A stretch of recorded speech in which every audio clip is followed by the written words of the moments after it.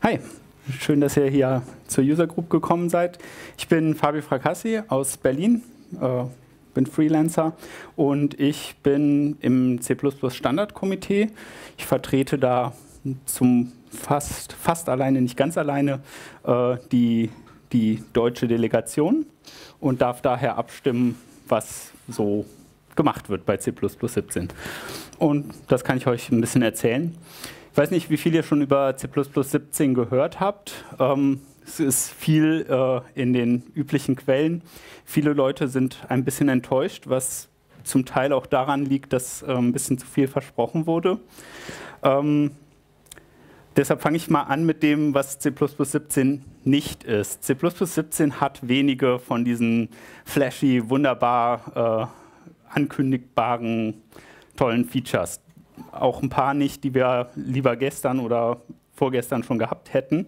So zum Beispiel wie Module, Concepts oder ähm, ja, Default Comparisons kann man vielleicht darauf verzichten. Also so Vergleichsoperatoren kriegt man noch immer ganz gut hin, auch wenn sie lästig zu schreiben sind.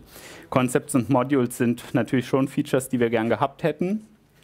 Ähm, Concepts ist eine never-ending Story. Wir hoffen, dass sie für 20 jetzt endlich fertig sind. Sie waren nah dran, aber eben noch nicht ganz fertig. Modules waren erst seit einem ungefähr einem Jahr in wirklich ernsthafter Bearbeitung und daher sind sie auf jeden Fall noch nicht äh, fertig genug, dass man sie einfach so in C++ 17 hätte reintun können. Auch da hoffen wir, dass sie für C++ 20 fertig sind. Wir werden sehen. Ähm, ja, tolle Features, aber auf die werden wir leider noch ein bisschen länger warten müssen. Es in C++ 17 sind definitiv mehr Features, die in der Library als im Sprachteil liegen. Ähm, das heißt, es sind mehr Library-Features da. Es kommen nicht so viele grundlegende Features, die, ähm, die alles verändern, so wie Lambdas drin. Ich finde schon, dass es einige große Features gibt, die, ähm, die verändern werden, wie wir, wie wir Software schreiben. Also die auch grundlegende Sachen ändern. Also es war bei C++ 11 ja auch so. Lambdas haben natürlich sehr viel verändert, wie wir die Sprache benutzen, aber Shared Pointer und Unique Pointer haben auch sehr verändert, was wir in der Sprache machen können, defaultmäßig. Natürlich, Library Features sind immer nicht so spannend, weil wir die immer schon über Boost oder selbstgeschrieben selber äh, uns reinziehen können und sie daher schon vielleicht benutzen, auch bevor sie im Standard sind. Trotzdem ändert es was, wenn man überall hingehen kann und sagen kann, hier, nimm dieses Feature, das ist, wie der Standard macht, so macht man es halt.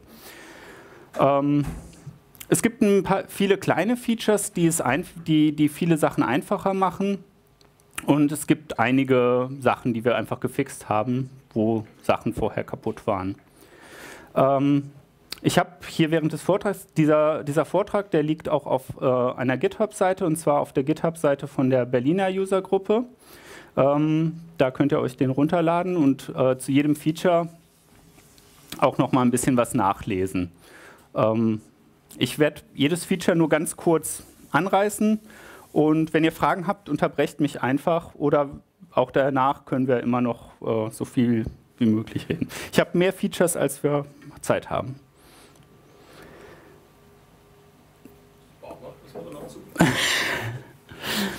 ähm, ja, ein, einige der interessantesten Features für mich sind diejenigen, die unser, unser Vokabular vergrößern. Also es gibt so ein paar Sachen, Shared Pointer ist zum Beispiel sowas, das hat unser Vokabular vergrößert. Wir können dadurch besser äh, uns über Interfaces unterhalten, über Code unterhalten. Code kann besser miteinander reden. Das sind Vokabulartypen. Und davon haben wir ein paar neue gekriegt. Viele kennen die vielleicht schon aus Boost. Einer davon ist Optional. Optional ist deshalb so toll, weil ähm, er gibt, macht eine Lösung für das übliche Problem. Ich habe eine Funktion, die soll einen Wert zurückgeben und ähm, sie, aber vielleicht kann sie das aus irgendeinem Grund nicht. Aber ich möchte nicht eine Exception schmeißen oder einen richtigen Fehler reporten. Ich möchte einfach nur sagen, hier ist der Wert oder eben auch nicht. Und das äh, drückt Optional wunderbar aus. Ähm, man sagt, man hat so einen Code wie hier. Wenn, das, wenn der Wert da ist, dann ähm, kann man ihn benutzen. Wenn nicht, muss man sich halt darum kümmern, dass er nicht da ist. Und für so, sowas hier, so Code wie hier, habt ihr wahrscheinlich noch und nöcher in verschiedensten Codebasen gesehen.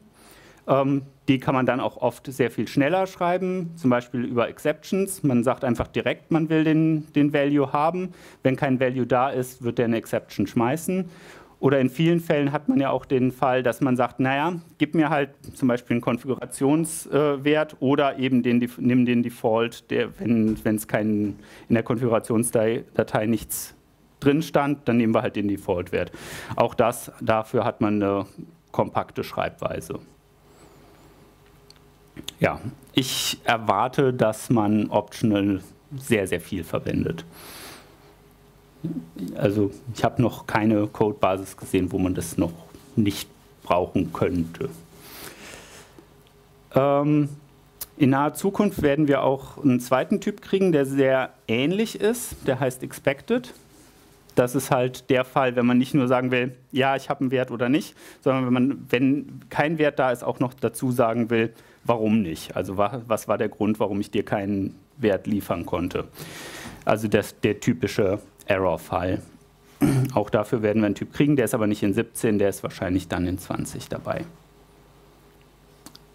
Der nächste wichtige Vokabeltyp, und äh, vielleicht seht ihr das an der Überschrift, ich freue mich sehr über diesen Typen, Variant. Ähm, Variant ist eigentlich technisch gesehen nichts anderes als eine typsichere Union von zwei Typen. Also man hat äh, entweder den einen Wert oder den anderen oder auch mehrere. Man hat vielleicht drei, fünf, zehn, was weiß ich. Aber auf jeden Fall ein festes Set an äh, Werten. Ähm, das klingt jetzt erstmal noch nicht so viel. Was den Typ so wichtig macht, ist, dass es einen äh, sehr effizienten Ansatz bietet, wie man Dynamic Dispatch, also wie man, wie man zur Laufzeit äh, einen Dispatch machen kann. Und zwar nicht über einen äh, über ein Set, was offen ist, wo man beliebig viele Typen reintut, sondern ein festes Set mit äh, eingeschränkten Typen. Und sowas hat man zum Beispiel so das klassische äh, Beispiel, was man oft in äh, objektorientierten Beispielen hat, ist das klassische Shape-Beispiel. Sowas kann man auch mit Variant äh, gut abbilden. Ähm, ein spezieller Typ ist dieser Monostate. Monostate ist nichts. Also es kann auch sein, dass keine Shape bei rauskommt. Ähm, oder eben man hat verschiedene, verschiedene Formentypen. Und dann hat man so eine Funktion wie Intersect, die man schreiben kann, ähm, die einfach auswählt, wenn, ich zwei Formen habe, wo ist, die, wo ist die Schnittmenge von diesen zwei Formen. Und wenn man die kann man relativ leicht dann benutzen mit verschiedenen Typen. Man hat hier verschiedene Formen, die man baut. Rechtecke, Linien und bildet die, ähm, bildet die Schnittmengen von diesen Typen und zeigt dann diese Schnittmengen an. Ähm, der Code ist relativ simpel und er ist sehr effizient. Der wird runterkompiliert zu einfachen Case-Statements. Ähm, und hat den Vorteil, ich habe nicht wie bei dem klassischen äh, objektorientierten Beispiel, erstens, wenn ihr den Code in objektorientiert schreibt, ist der dreimal so lang. Äh, es sind Pointer drin, es sind Heap-Aufrufe drin, es sind Heap-Allokationen drin. Ähm, generell ist das kein schöner Code und auch kein effizienter Code. Mit Variant, der Code ist schnell, der Code ist äh, sehr einfach.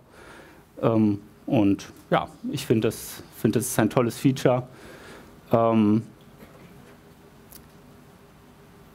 weil, weil wir einfach viel wegkommen werden von diesem äh, von dem klassischen objektorientierten Modell. Ein ähnlicher Typ ist Any. Any heißt, es ist ein, ein Value Holder, also ein, äh, ein äh, Wert, äh, wertsemantischer Typ, äh, der beliebige Typen halten kann. Also so eine Art Void Pointer nur in Typen sicher. Ähm, für viel mehr kann man ihn auch nicht benutzen. Ist, er ist sehr beliebt, dieser Typ, und er wird oft benutzt, ähm, wo man eigentlich besser Variant benutzt. Qt hat zum Beispiel auch einen Typ, der heißt Q-Variant, der eigentlich ein Any ist besser ist eben der richtige Variant, wo man, wo man ein festes Set hat und nicht beliebig was reintun kann und nur zufällig dann wieder das rauskriegt.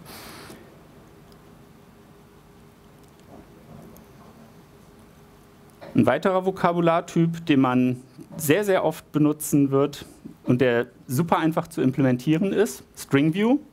StringView ist nichts weiter als zwei Pointer auf ein Character Array. Anfang, Ende. Das braucht man im Prinzip fast überall, wo man mit Strings oder stringartigen Sachen äh, operieren will, aber nicht wissen will, wem der String und wem die Daten eigentlich gehören. Und wenn man darüber nachdenkt, ist das eigentlich ein sehr, sehr großer Teil des Codes, wo man eigentlich gar nicht wissen will, wem gehören die Daten eigentlich, sondern wo man sie nur in einer Form bearbeiten wird. String View ist ähm, const in der C++-17-Form. Es wird später noch eine Klasse geben, womit man auch äh, die Daten verändern kann, die man als Buffer verwenden kann. String View ist nur für konstante Daten da. Und das klassische Beispiel, was man, die Probleme, die man hat, ist, man hat eine beliebige Funktion, mit der man irgendwas mit String-Daten machen will und übergibt die jetzt per const string. Das Problem ist, wenn man, ähm, wenn man sowas hat, und dann String literal reinpackt, dann hat man ein Problem, weil man einen Performance-Bug hat, weil da immer ein temporärer String angelegt wird. Das heißt, es gibt wahrscheinlich, je nachdem wie lang der String hier ist, gibt es äh, noch eine Heap-Allokation dabei. Ist alles nicht so toll. Wenn man natürlich eine Variable übergibt, die man sowieso schon hat, dann ist es okay. Andersrum, okay, hier habe ich äh, vergessen reinzuschreiben, das Interface von dem Prozess ist jetzt ein Const-Char und erwartet ein, ein String-Literal, dann funktioniert das wunderbar. Und das kompiliert nicht, weil wir da keinen String reingeben können und den String nicht äh, äh, implizit in String-Literal umwandeln können. Das heißt, früher hat man dann oft sowas gemacht, man hat das Interface doppelt geschrieben und das eine auf das andere abgebildet, äh, was meistens man musste es so rum machen, man musste immer das, das mächtigere Interface hat man benutzt und äh, hat dann auf dem weniger mächtigen das dann implementiert und da fehlt einem dann natürlich die Größe, man muss dann wieder Stringlänge oder irgendwie sowas machen. Das ist hm, nicht schön und manchmal auch noch ineffizient. In C++17 kann man ein Interface machen, man gibt das Interface, man gibt den String View per Value, ja, also braucht keine Referenzen oder sowas. Und der String View ist ähm, ist immer sicher, man weiß immer die Größe von dem String und man hat äh, effizient ohne, ganz ohne Temporaries nicht, natürlich wird implizit ein String View generiert, aber der String View ist so einfach, dass der Compiler die rausoptimieren kann und es wirklich ein effizientes Interface ist. String View kann man überall benutzen, wo, äh, wo, so ein, äh, wo man so ein Character Array benutzen würde, wo man sonst const ref, ein String per const ref oder per, per äh, C-String übergeben würde. Ähm, ein schönes Ding, was man damit super einfach implementieren kann, ist so eine Art String-Cat, wo man einfach beliebige Typen, die irgendwie aus Charakteren bestehen, ineinander in einen String äh, überträgt. Das ist optimal effizient. So schnell ist es genauso schnell, als ob man es mit Memcopy zusammen sich bauen würde, mit genau den, den Grenzen, die man baut. Da kommt genau der gleiche Code bei raus. Ähm, und und solche, solche Sachen gibt es da, äh, die man mit StringView machen kann, mehr das klingt jetzt alles so toll, man kann tolle, schöne Sachen machen. Es gibt natürlich ein paar Sachen, die nicht funktionieren. Wir wären nicht in C++, wenn nicht, wenn es nicht ein paar kleine fiese Fallen gäbe. Ähm, String Views haben, sind so definiert, dass sie keine, äh, den Zero Termination Character nicht hinten dran haben. Wenn man darüber nachdenkt, es geht halt auch meistens nicht anders, weil man will ja zum Beispiel in String View auch, man hat einen großen String und will da irgendwie ein Stück rausnehmen dann ist in der Mitte von dem String natürlich kein, kein Zero-Charakter drin.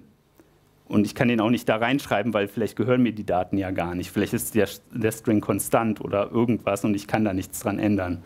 Deshalb kann er auch nicht da rein. Das heißt aber, man kann sich natürlich auch nicht darauf verlassen. Und wenn man zum Beispiel ein C-API einspricht, die erwartet, dass irgendwo der, dass man nur den Anfang übergibt und dann irgendwo kommt dann schon eine Null, das funktioniert nicht. Und da muss man eben darauf achten. Ähm, es gibt diese, diese Funktion, die man, man kommt sehr leicht an den Anfangspointer von dem String View, aber das funktioniert eben nicht. Da muss man dann eben temporären String äh, bauen. Es gibt eine Möglichkeit, darüber wird auch noch diskutiert, ob wir später noch einen anderen String, einen Zero-Terminated String View bekommen, der sowas macht. Kann man sich überlegen. Ähm, eine ähnliche Klasse wie String View äh, werden wir also ziemlich sicher in C++20 kriegen. Es ist eigentlich quasi schon drin, ist nur noch nicht ganz fertig gewesen für 17. Ähm, sobald wir wieder Sachen reinpacken können, werden wir das machen. Und das wäre der Span, der kann eben erstens für andere Dinge als wie Character Types benutzt werden. Also wenn man einen Vektor auf int hat, kann man mit einem Span eben auch äh, dann andere Datentypen äh, das gleiche machen und man kann da durch einen Span auch durch reinschreiben in die Daten, in, die, in, den, in den Container, dem die Daten gehören. Ähm, man kann natürlich nicht die Größe von den Daten verändern. Ja. Ein Sprachfeature, das wir gewonnen haben, was in dem Zusammenhang ganz interessant ist, ist ähm, das Range-Based For, also der, ähm, die Vorschleife, die auf Containern funktioniert. Ähm, die hat eine, ähm, eine Einschränkung weniger. Bisher ist es ja so, dass ähm, das, was man als Container oder als, als Range in den, in den For Loop reinschmeißt, muss einen Beginn und ein End haben. Und das, was Beginn und End hat, der Typ muss der gleiche sein bisher. Das ist manchmal nicht so schön, weil man dann zum Beispiel für diese Iteratoren, für den End-Iterator, ähm, irgendwie tricksen muss, damit er der gleiche Typ ist wie der Anfangsiterator. Diese Einschränkung hat, ist jetzt aufgehoben worden. Man kann jetzt da verschiedene Datentypen reintun.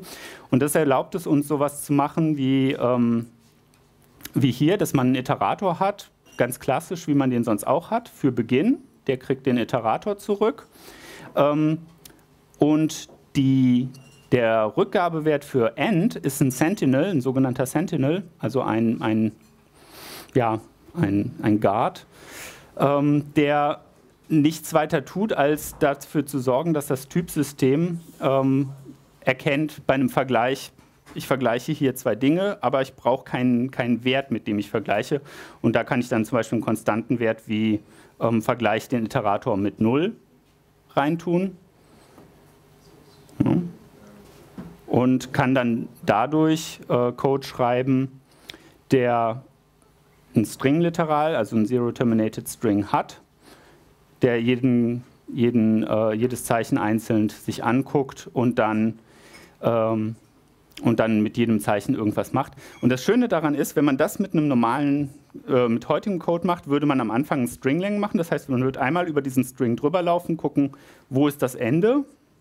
Dann hat man Beginn und End, schmeißt es ins Vor und läuft nochmal drüber und macht was mit jedem Zeichen. Jetzt kann man das in einem machen.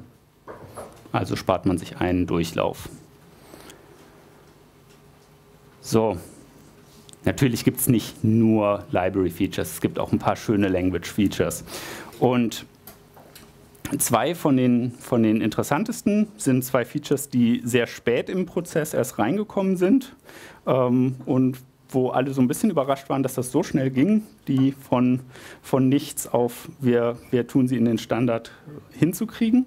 Und ich glaube, die werden auch eine Menge äh, Code vereinfachen.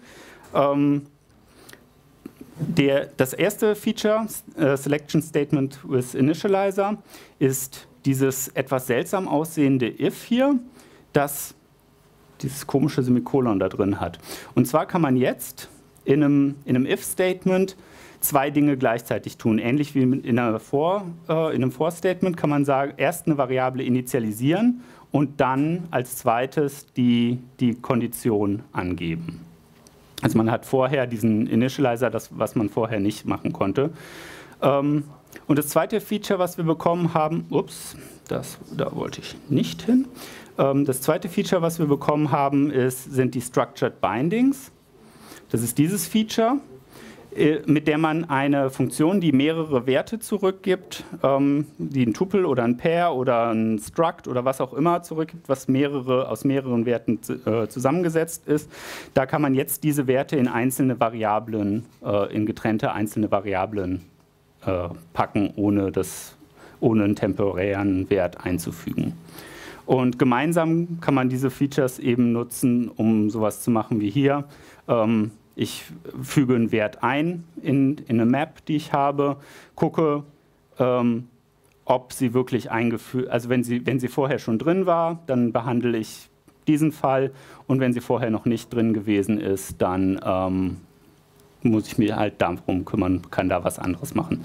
Äh, in beiden Fällen, ähm, die Variablen, klar, wenn man sie hier in dem if-initializer macht, die sind gültig in diesem Scope, also in dem then-Scope und in dem else-Scope, äh, wie man es erwarten würde. Beide Features sind nicht viel mehr als äh, äh, Syntactic Sugar, also ist einfach nur eine schönere Schreibweise für Code, den man bisher auch schon schreiben konnte. Aber ähm, solcher Code kommt sehr häufig vor und wenn man den ganzen Boilerplate, den man da hat, wenn man den loswerden kann, das lohnt sich. Das ist schön. Frage dazu, Clever. Ja. Gibt es ja noch den Umkehrschluss, dass man über Vorschleife in diesem Recall ja weglassen kann? Wenn man nichts initialisieren will? Weil Nein, Kann das, ich ja jetzt eine Condition reinschreiben? nein, Oder, äh, nein, kannst du nicht, aber du kannst bei vorher immer schon die Initialisierung weglassen. Also Ja. daran ändert sich auch nichts. Ich weiß nicht, ob man dann äh, Probleme kriegen würde mit, mit dem Parsen oder so. Ähm ja, ein weiteres Feature, oder hier habe ich auch wieder in dem Beispiel drei Features zusammengefasst. Ähm, Template Argument Deduction for Class Templates. Ähm, ihr, ihr kennt alle so, so ähm, Factory Functions wie zum Beispiel make shared, ähm, die man nur deswegen braucht, weil der Typ, den man da erstellen will, ein Template ist und man aber nicht alle Template-Parameter angeben will, sondern die aus den Parametern, die man in die Funktion reintut, äh, deduzieren will. Das geht bisher nicht direkt im Konstruktor. Also man kann nicht direkt sagen, hier, das ist mein Typ, der wird aus den und den, mit den und den Parametern generiert. Mach mir doch den richtigen Typ. Du hast alle Datencompiler. Und er sagt trotzdem, nee, verstehe ich nicht. Ähm, und man muss dann immer diese getrennte Funktion schreiben, die, die dann als Factory-Funktion gedient hat. Das muss man jetzt nicht mehr unbedingt, äh, wenn man ein Klassentemplate hat und einen äh, Konstruktor, der aus mehreren äh, Werten das äh, erstellen kann, dann funktioniert das im Zweifelsfall von alleine. Wenn man da irgendwie eine Spezialbehandlung braucht, also wie zum Beispiel MacShared, hat ja bestimmte Sachen, wie sie den Typen noch vorher umbaut, bevor der, äh, der richtige Typ dann erstellt wird. Auch diese, diese Änderungen kann man in einem Spezialkonstruktor sozusagen angeben und sagen, hier, wenn du den Typ bekommst, mach daraus den anderen Typen.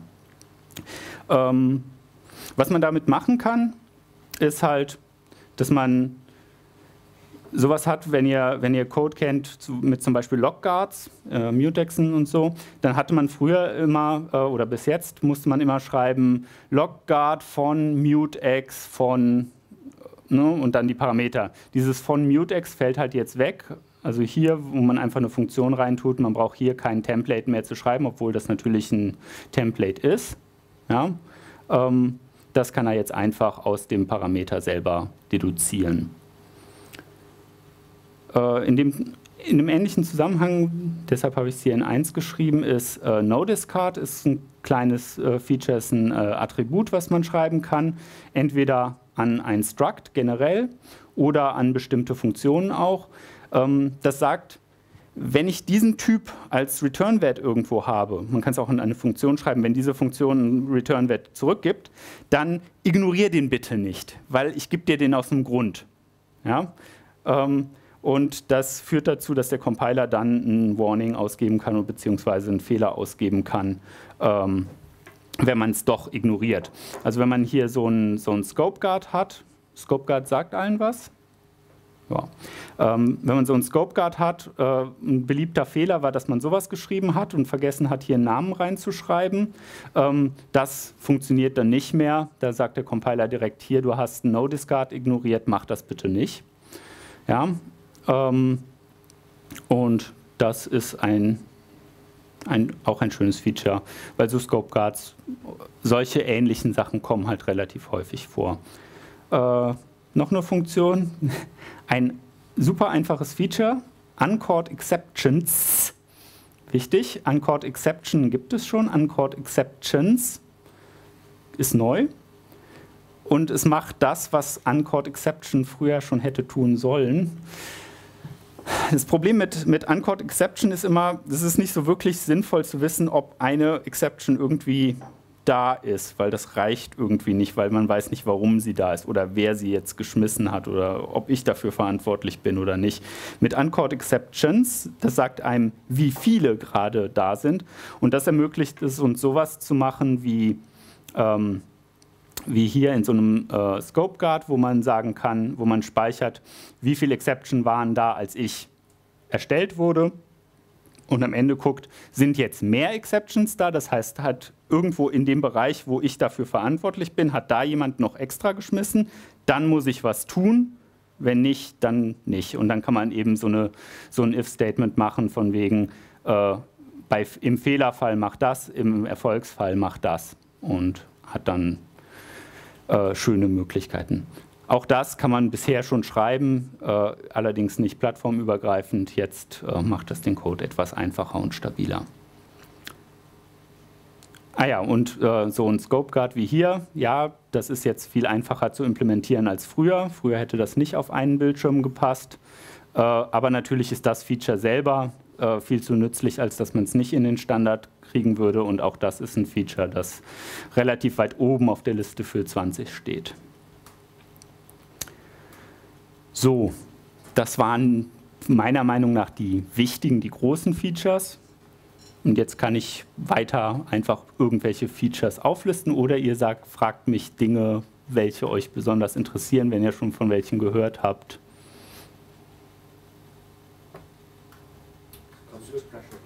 Const Expression if habe ich. Ich würde hier noch zu dem Punkt. Ja? Nee, das war eins vorher, glaube ich. Äh, ähm, hier Konstruktor, ja, Template, Argument, ja. Deduction. Wieso ist das jetzt erst jetzt möglich? Hauptsächlich, weil es keiner vorher, äh, weil keiner den Vorschlag gemacht hatte, das, das äh, möglich zu machen. Ich weiß nicht, warum es im, im Original, bei den Original-Templates nicht drin ist. Das war lange vor meiner Zeit. Ähm, also das war ja im, im Original C 98 schon so. Ähm, da weiß ich nicht, was damals die Begründung war, warum man das nicht gemacht hat. Vielleicht einfach nur, dass vom Feature schon komplex genug war und niemand es richtig überschauen konnte, ob man das braucht, wie man es brauchen könnte.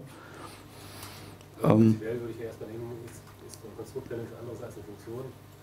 Ja, also ich glaube, es, es, hat einfach damals wahrscheinlich keiner dran gedacht und jetzt hat es halt mal einer gesagt, ja, das ist doch lästig, dass wir es immer machen. Ja, wir arbeiten immer drumherum, lass es uns jetzt mal richtig machen. Und ja, es ist nicht ganz einfach zu implementieren. Also da gibt es schon viele Corner Cases, viele Sachen, die man beachten muss. Wann, wie, wo, was geht implizit, wo muss man explizit was schreiben, wie macht man die Syntax dafür, dass es explizit ist darf jemand anderes so ein, so ein Guard schreiben oder nicht, also so ein, so ein Konstruktor schreiben oder nicht. All solche Fragen. Wie, wie jedes Feature nicht ganz trivial. Ja. Äh, Const habe ich drin. Da. Const if heißt jetzt if const Ähm, nützliches Feature. Moment, für das Beispiel äh, mag ich vorher kurz dieses Feature, auch ein Library-Feature mit einer wahnsinnig langen Implementierung. Ja, das ist das ganze Feature. Ähm, das Feature ist komplexer, als es aussieht. Beziehungsweise eigentlich nicht, aber man kann damit unglaublich viel tun. Ähm, dieses kleine, kleine Ding hier, dieses Void T, sorgt dafür, dass man ähm, einen Svine-Type machen kann für, ähm, für solche Template-Parameter. Und damit kann man relativ leicht so, äh, so Klassen schreiben, wie ähm, ob, ob eine Funktion, also ob ein Typ eine bestimmte Member-Funktion hat oder nicht. Ähm, das war früher äh, relativ aufwendig. Es war so eine halbe Seite Code, die man dafür brauchte. Mit dem Voider ist es relativ einfach, äh, sowas zu implementieren. Man sagt ja einfach, wenn es diese Funktion gibt, ja, dann, dann ist das ein legaler Ausdruck, dann funktioniert das. Wenn nicht, fall, fällt er zurück auf diese Implementierung und sagt, das ist äh, ein False-Type. Ja, und das kann man dann eben in so einem if-const-expr-Ausdruck äh, benutzen. Man hat hier das, äh, so eine, eine Rendering App, wo man, wo man Run macht, wo man periodisch neu rendern will.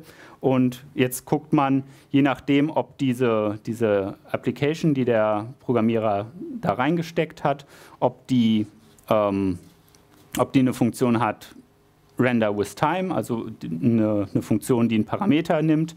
Wenn ja, dann, dann messe ich die Zeit und stecke die auch da rein in die Funktion. Ja, dann sage ich immer, wie viel Zeit ist vergangen vom letzten Frame aus. Wenn derjenige keine, äh, wenn er nur eine normale Render-Funktion ohne Parameter übergeben hat, äh, implementiert hat, dann ähm, mache ich halt nur das. Dann gebe ich ihm die Zeit nicht und brauche sie aber auch nicht zu messen. Und äh, wenn er weder noch gegeben hat, wenn er gar keine Render-Funktion übergeben hat, dann sage ich ihm, du hast das nicht richtig benutzt. Ähm, das ist natürlich wieder so ein Ding. Man kann das natürlich klassisch mit virtuellen äh, Methoden implementieren, mit Default-Implementierung. Aber dann hat man eben immer auch diesen, in diesem Renderer-Loop immer diese virtuellen Dispatch drin. Hier, das ist statisch, das funktioniert komplett äh, ohne irgendwelche virtuellen oder indirekten Calls und ist damit effizienter.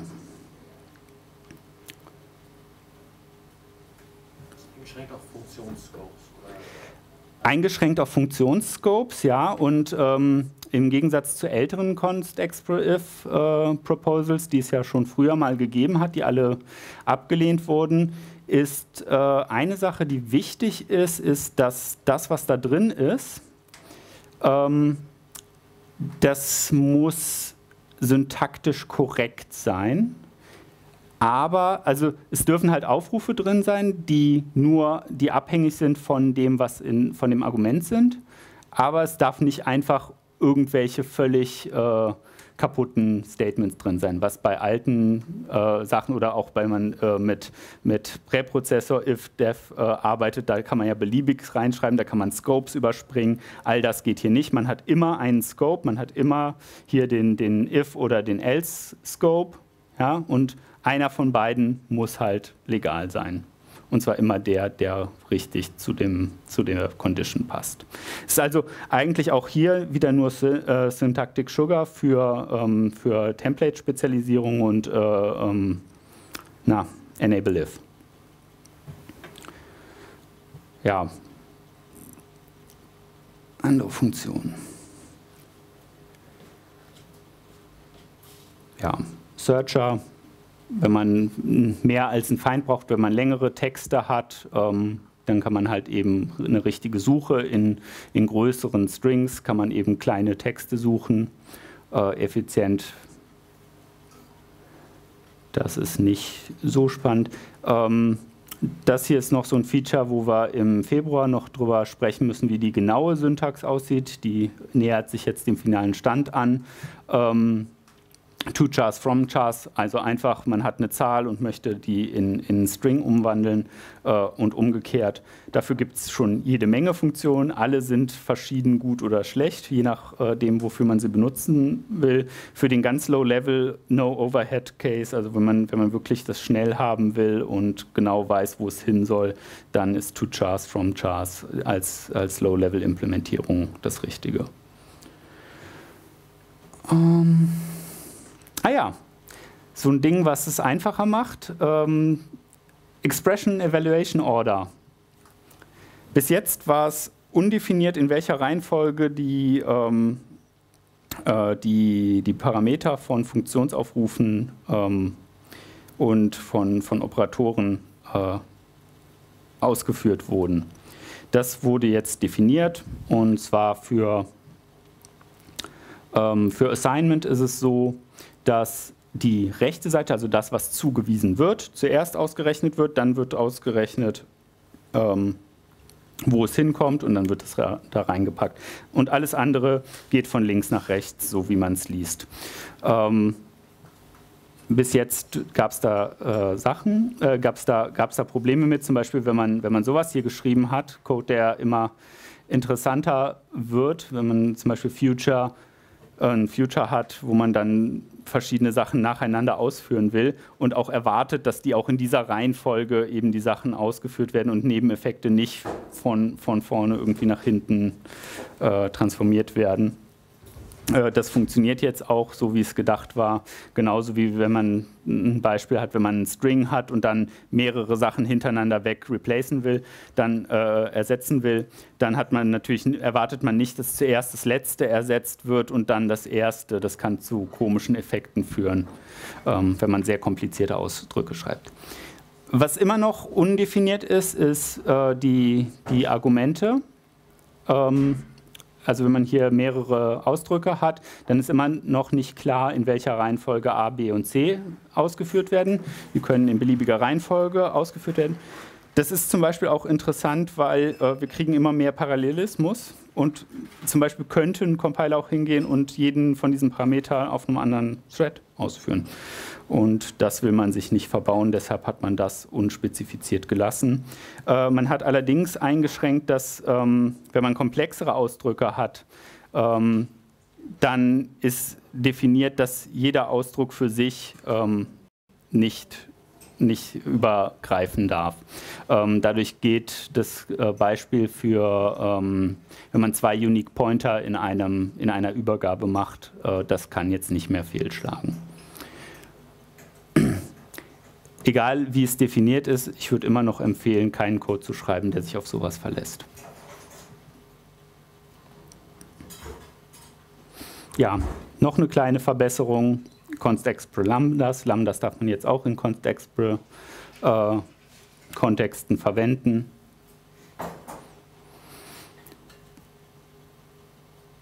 Und man kann nicht ein Lambda als const markieren, oder? Äh, doch, kann man auch, muss man aber nicht. Also wenn die Voraussetzungen erfüllt sind, äh, dann, weil ein Lambda ist immer inline da, das heißt, äh, der Compiler kann immer erkennen, ob die, ob die äh, Voraussetzungen erfüllt sind. Von daher kann man, braucht man, also man kann hier natürlich const expre auto vorschreiben, ähm, um es zu garantieren. Aber bei const expre Funktionen auch immer die Implementierung? Ja, aber. Dann könnte man auch sagen, bei jeder Inline-Funktion sieht der Compiler, ob er das Kontext ausführen kann oder? Ja, also bei Funktionen ist das, äh, ist das Argument, dass es eben Teil des Interfaces ist. Ich weiß nicht, warum es bei Lambdas äh, anders gehandhabt wurde. Vielleicht habe ich auch einen Fehler drin. Das könnte ich mal in, Erfahrung bringen. Na, nicht jetzt. Schau, schau, schau ich mir nochmal an. Ähm, ja, Static Assert, man braucht jetzt nicht mehr bei Static Assert immer eine Meldung hinterzuschreiben.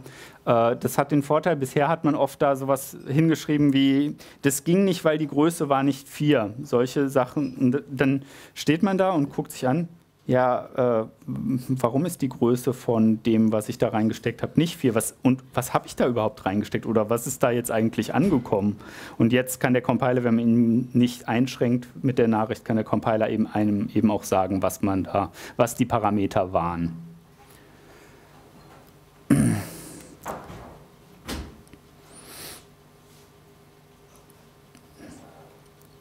Ja, kleine Verbesserung das hat früher nicht funktioniert. Man konnte nicht sagen, ähm,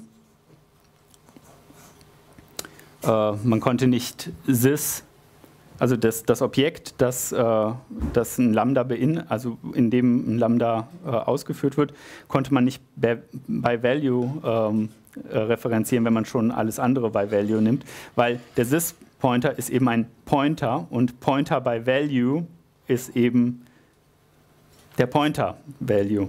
Man will aber oft das Objekt bei Value haben in das Lambda und in das Lambda reinstecken und deshalb geht das jetzt eben auch und vorher musste man dann eben solche komischen Workarounds machen. Ja. Hm? Äh, ja, möglich, ja. Ja müsste es. Äh, das Feature ist raus. Das gibt es nicht mehr. Äh, das wäre ein schönes kleines Feature geworden. Allerdings hat das das Problem, dass es, äh, dass es die ABIs brechen würde. Und was erstmal, also es würde halt dafür sorgen, dass man inkompatible Bibliotheken hat. Ähm, Das wäre an sich nicht weiter schlimm, aber es wäre einz das einzige Feature, was das äh, für C 17 tut. Und das, das war es nicht wert. Deshalb, ja, nettes Feature, nicht besonders wichtig, aber wenn man es gehabt hätte, dann wäre es okay gewesen. Wenn wir das nächste Mal das ABI kaputt machen, dann kriegen wir so ein Feature vielleicht auch wieder. Ähm, es gibt ein paar Tools, äh, uninitialized. Es gibt schon ein paar Sachen, womit man mit initialisiertem Speicher sicher arbeiten kann. Das braucht man, wenn man Container implementiert äh, für bestimmte ähm, Sachen, wo man wirklich effizient braucht, äh, Effizienz braucht, äh, sodass man keine duplizierte Initialisierung hat. Da gibt es jetzt ein paar mehr Management-Tools, mit denen man arbeiten kann. Ähm, eins der wenigen Proposals, was äh, von, von null in den Standard gekommen ist in einem Meeting. Ähm, ja, jede Menge kleine Helfer. Vielleicht noch interessant, äh, Variadic Lockguard. Wenn man äh, einen Lockguard hat, Lockguard äh, kennt ihr, ähm, für einzelne Mutexe für mehrere Mutexe musste man das äh, von Hand machen, was nicht so toll ist, weil man dann die Reihenfolge festlegt, in der die äh, Logs genommen werden, ähm, was Deadlocks äh, möglich macht. Wenn man mehrere Mutexe hat, nimmt man normalerweise das Log und gibt mehrere Mutexe dann an, sodass der Algorithmus das dann anpassen kann.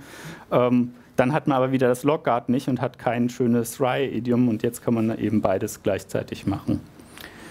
Ähm, ja, ich würde jetzt einfach mal aufhören und euch äh, weitere Features entweder fragen lassen oder, oder ja, weil der Rest sind Kleinigkeiten.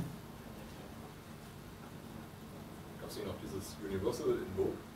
Nein, das ist aber schon, das ist auch so ein Feature, was versprochen wurde, was aber auch schon lange raus ist und äh, was auch bei näherer Betrachtung nie so wirklich in der engeren Auswahl war. Kannst du mal kurz sagen, was das Problem? Ähm, also in der allerersten Form ähm, war es eben viel zu weit gefasst. Also das, bei ähm, äh, Universal Call Syntax ging es darum, dass ähm, man Member-Funktionen und freie Funktionen, die als ersten Parameter einen, einen bestimmten Typ hatten, frei äh, und, und austauschbar verwenden konnte. Also dass man entweder sagen konnte x.f oder f von x. Und beides ruft je nachdem die gleichen Funktionen auf. Äh, entweder den Member, wenn es den nicht gibt, dann fällt es zurück auf, den, auf die freie Funktion oder umgekehrt, je nachdem, welche äh, Syntax man gewählt hat. Ähm, es war relativ schnell klar, dass man wenn nur eine Seite äh, machen will, und zwar äh, nur die, dass die Member zurückfallen auf die, auf die freien Funktionen. Ähm, aber auch da ist das Problem, man öffnet halt den, den Raum von, äh, den, den Namensraum von Member-Funktionen für die gesamte Welt. Das heißt, man hat irgendeinen Typen, den man speziell dafür gemacht hat, dass er eben bestimmte Sachen nicht kann, oder dass die nicht funktionieren, dass, dass das Interface in einer bestimmten Weise funktioniert. Irgendjemand hat äh, eine freie Funktion geschrieben und ruft die jetzt überall in seinem Code, ruft er jetzt x, äh, x.f auf und erwartet, dass sein, sein f irgendwo gefunden wird. Und jetzt kommst du als Klassenautor und fügst eine Funktion f hinzu. Und die ganze Welt geht kaputt. Alle Programme, die sich darauf verlassen, gehen kaputt. Und das heißt, wir haben dann einfach keine Chance mehr, stabile Interfaces irgendwie weiterzuentwickeln. Es gibt Klassenautoren, nimmt Klassenautoren komplett die Möglichkeiten, ihr Interface zu definieren. Und das ist schwierig. Ähm, was vielleicht eine Möglichkeit wäre, ist dafür eine, eine spezielle äh, Syntax wie Invoke oder sowas zu haben oder eben eine Shorthand für Invoke. Ich meinte eigentlich gar nicht, dass es in der Sprache drin ist, sondern ich habe mal, oder ich habe das gelesen im Standard Invoke ja. mit der man jedes Callable aufrufen kann. Die gibt es. Die gibt es, ja, das gibt's. Ähm, ich glaube, dafür habe ich allerdings kein Beispiel hier. Aber ja, die gibt's. Genau, also Invoke. Äh, ja, und Da ändert sich auch gerade noch der Name von, glaube ich. Kann ich, kann, ich im, kann ich im März mehr zu sagen, dann, dann weiß ich das. Aber ja, die, die gibt es. Ah, ein Invisible Goodie. Guaranteed Copy Elision. Ähm, wenn man einen Wert bei Value zurückgibt, ähm, dann konnte es bis jetzt auch schon passieren, dass der gar nicht kopiert wurde aus der Funktion raus, sondern dass er direkt im Kontext vom, vom Aufrufer erstellt wurde. Das ist toll, dass das bis jetzt schon immer, äh, dass das so optimiert wurde. Das ist aber ein bisschen blöd, wenn man sich nicht darauf verlassen kann, weil dann die Klassen, die man damit schreiben kann, oft ein bisschen komplizierter werden. Also wenn man so ähm, sowas äh, wie, ein, wie ein Scope Guard macht, dann muss man da eben äh, dafür sorgen, dass der nicht gemoved wird. Und wenn oder das, ne, wenn, wenn der gemoved wird, müsste man Sonderbehandlung haben oder man verlässt sich halt drauf. Ähm, oder eigentlich müsste man den Move und den Copy-Konstruktor löschen. Dann funktioniert es aber nicht mehr, weil der Compiler sagt, ja, ich mache zwar nie die Kopie, aber du musst mir garantieren, dass es geht, wenn ich es dann doch mal machen wollen würde. Und jetzt haben wir halt einfach die Garantie, nein, es passiert einfach nicht, es ist immer im Kontext des Aufrufers, es ist immer effizient. Das macht es ein bisschen einfacher und ein bisschen schneller. Ist dann eigentlich dafür auch schon die Idee, dass bei Variableninitialisierung, also wenn ich eine Variable hinschreibe, Auto X gleich irgendwas?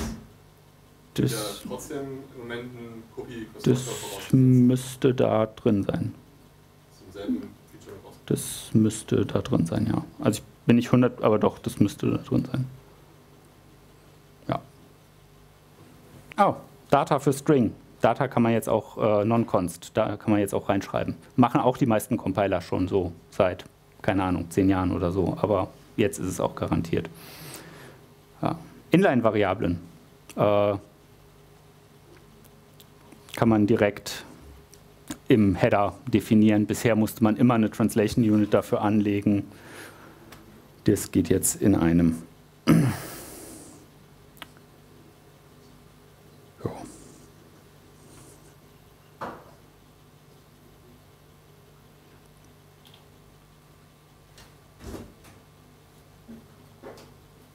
Wollt ihr noch mehr sehen? Parallel Test, ja.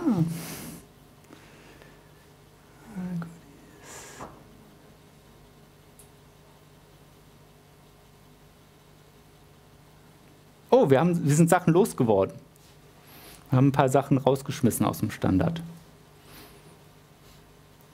Ja, Parallel TS. Wir können jetzt die meisten äh, Standardalgorithmen, die es so gibt, äh, kann man jetzt parallel ausführen, indem man als ersten Parameter äh, so, so ein, ein äh, Identifier dran schreibt und sagt, ich möchte das bitte in parallel haben. Und dann kann er eben diesen, äh, diesen Code, diesen Loop parallel ausführen.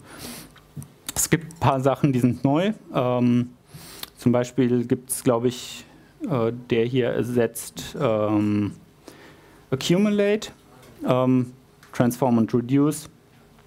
Äh, man geht einmal über die, über die Daten raus, äh, ver verändert jedes Element, also parallel wird jedes Element irgendwie prozessiert verändert und ähm, dann wird, werden jeweils äh, die Elemente zu zweit in Merge, durch einen Merge-Schritt zusammengefasst und, ähm, und kleiner gemacht und, und äh,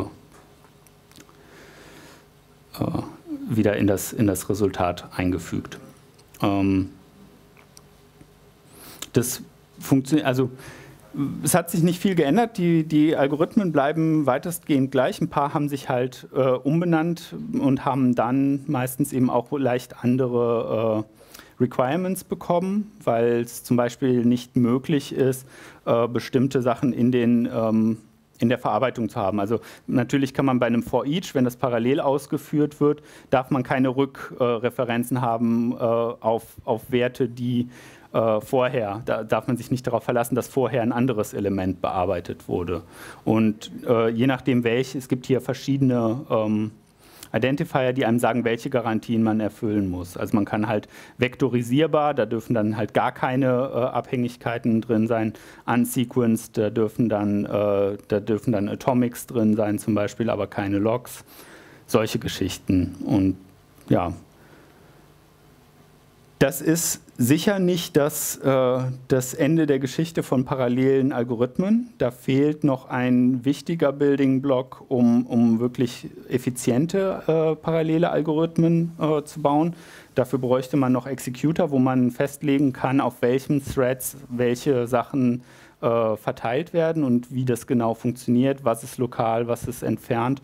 Ähm, das kann man bisher noch nicht machen. Im Moment sagt man der, der Bibliothek, tu, was du kannst. Ja, ich, von mir aus ist es in Ordnung, wenn du das parallel machst, mach, was du kannst und mach das Beste draus.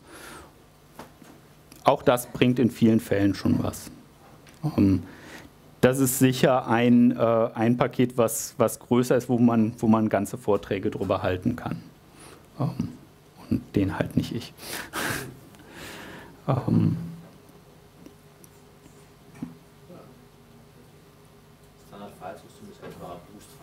Standard File System ist, ist ziemlich genau äh, Boost File System, ein bisschen, bisschen äh, sauber gefeilt, ein paar Unstimmigkeiten, die lange drin waren, die man im Boost File System vielleicht auch nicht mehr geändert hat wegen Rückwärtskompatibilität. Jetzt an dem Schritt hat man gesagt, ja okay, ein paar Sachen sind wirklich komisch ähm, die müssen wir noch anpassen. Ein paar Sachen, ein äh, paar äh, ungewöhnlichere Filesysteme sind noch gekommen und haben gesagt, nee, das funktioniert mit unserem Filesystem aber nicht. Das müssen wir dann vielleicht doch noch ein bisschen anders formulieren.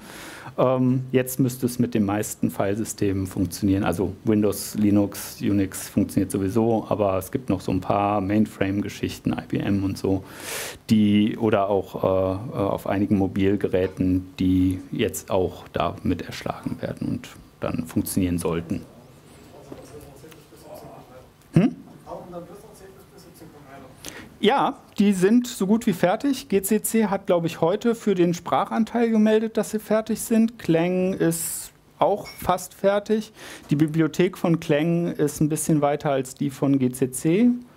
Ähm, aber also mit, mit äh, offiziellem Stempel, der ja erst nächstes Jahr auch kommt. Also C 17 wird offiziell erst Ende dieses Jahres gestempelt und ist dann offiziell. Äh, zu dem Zeitpunkt bin ich relativ optimistisch, dass wir dann auch die Compiler haben. Also fast alle Features kann man jetzt schon testen. Gut, dann bedanke ich mich erstmal und ich bin noch den ganzen Abend hier und ihr könnt mich mit Fragen löchern.